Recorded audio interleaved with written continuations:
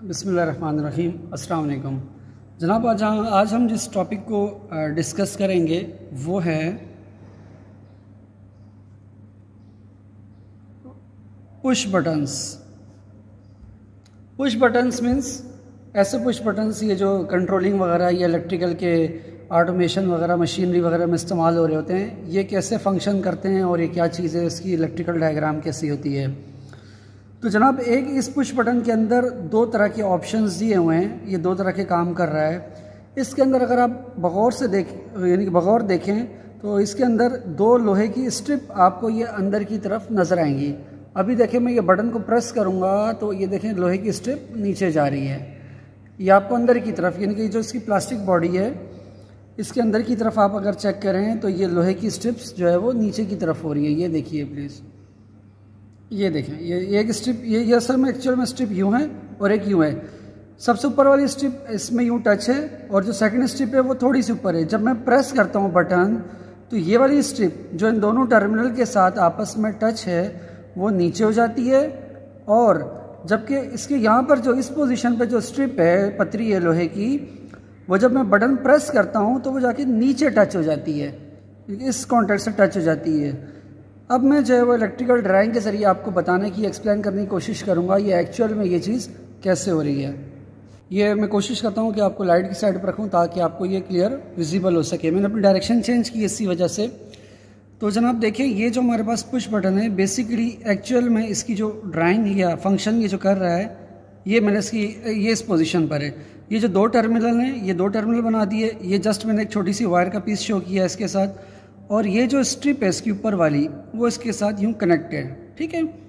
अब ये तस्वीर शो कर रही है कि ये ऊपर नहीं जा सकता, ये नीचे ही प्रेस होगा, जबकि जो इसके नीचे वाले टर्मिनल हैं, उनकी पोजीशन कुछ इस तरह से है।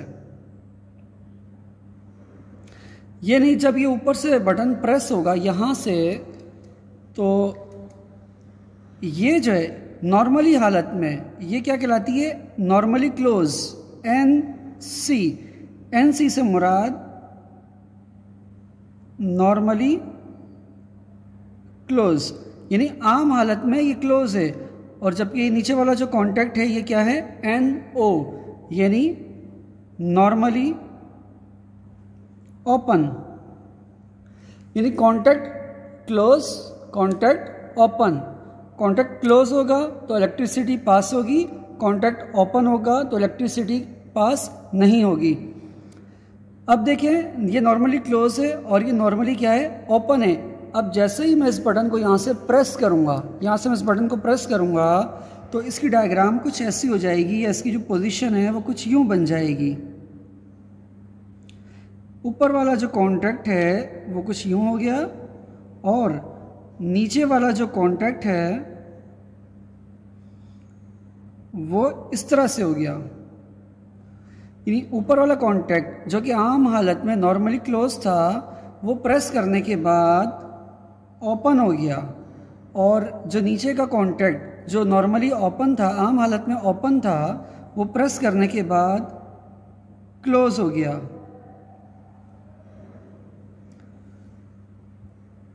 इसके अंदर जैसे ही आप ये बटन प्रेस करेंगे तो ये पोजीशन आ जाएगी।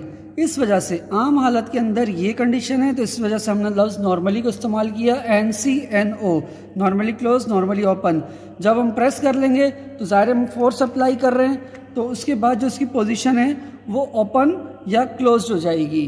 तो हम इसके साथ फिर नॉर्मली का लफ्ज़ इस्तेमाल नहीं करेंगे। तो जनाब, ये है सिंपल सा पुश बटन कि पुश बटन के अंदर आप जो है वो इसको किस तरह से इसकी एप्लीकेशन कर सकते हैं, ये भी हम जो है आगे आप चल के आपको सिखाएँगे, इंशाल्लाह पूरी कंट्रोलिंग सिखाएँगे। इस बटन के अंदर दोनों ऑप्शंस मौजूद हैं। मैं आपको एक अलग अलग सा बना के दिखा देता हूँ कि ये अलग अलग कैसे होते हैं। मिसाल के तौर पर ये देखें। ये एक जो है वो पुश बटन है। अब आप इसमें गैस करें कि ये कौन सा पुश बटन है। ये नॉर्मली क्लोज है या नॉर्मली ओपन है? तो जनाब, ये नॉर्मली क्लोज है। यानी कांटेक्ट इसमें मेक है और करंट इससे पास हो सकता है। यानी कि दोनों टर्मिनल आपस में कंटेक्ट में है। और उसके बाद जैसे ही मैं इसको प्रेस करूँगा तो ये पुश बटन कुछ इस पोजीशन पे आ जाएगा। अब ये नॉर्मली नहीं रहा। अब ये क्या हो गया? ओपन क्योंकि मैंने फोर्स इस पर अप्लाई की हुई है। बिल्कुल इसी तरह एक पुश बटन में बनाता हूँ जो कि जिसकी नॉर्मली हालत ये है, यानी कि वो एन ओ है। नॉर्मली क्या है? ओपन अब जब मैं इसको प्रेस करूँगा तो कुछ इसकी कंडीशन ऐसी हो जाएगी, यानी कि कॉन्टेक्ट मैक कर लेगा। तो हम इसको क्या बोलेंगे कि ये क्या हो गया? क्लोज्ड हो गया। ये वाले जो पुश बटन है, ये वाला जो फ़ंक्शन है, ये हम कहाँ पे इस्तेमाल करेंगे? ऑफ़ स्विच के तौर पर। और जबकि ये वाला जो फ़ंक्शन है, ये हम ऑन स्विच के तौर पर इस्तेमाल करेंगे। यानी आम हालत में ये इलेक्ट्रिसिटी कंडक्ट कर रहा होगा, जैसे ही हम इसको प्रेस करेंगे इलेक्ट्रिसिटी डिस्कनेक्ट हो जाएगी, क्योंकि कॉन्टैक्ट ओपन हो जाएगा तो जो भी चीज़ होगी, उसकी पावर ऑफ़ हो जाएगी। जबकि यहाँ पर आम हालत में करंट पास नहीं होगा। जैसे कि ये ओ एन ओ है नॉर्मली ओपन है। जैसे ही मैं ये बटन प्रेस करूँगा तो कॉन्टैक्ट मेक हो जाएगा और जो भी चीज़ है, वो ऑपरेशनल हो जाएगी। यानी हमारा जो ऊपर वाली डायग्राम है, वो ऑफ़ स्विच की है बेसिकली और जो नीचे वाली डायग्राम है, वो ऑन स्विच की है। हमारे इस स्विच के अंदर दोनों फीचर्स मौजूद हैं और आप इसमें से किसी को भी इस्तेमाल कर सकते हैं। आप अगर बगौर जायज़ा लें तो ऊपर देखें आपस में स्ट्रिप कॉन्टैक्ट आपस में मिला हुआ है, जो कि प्रेस होने पर जो स्ट्रिप है, वो नीचे आ जाती है। और जब जैसे ही मैं छोड़ता हूँ स्विच को तो वापसी वो ऊपर चली जाती है। इसके अंदर कुल दो स्ट्रिप्स हैं। एक ने इसको मिला के रखा हुआ है, जो कि नॉर्मली क्लोज है। जबकि ये प्रेस होगी तो ये जो नॉर्मली क्लोज है, ये ओपन हो जाएगी। और आम हालत में ये ओपन है, ये क्लोज हो जाएगी। उम्मीद है आज की ये वीडियो आपको पसंद आई होगी।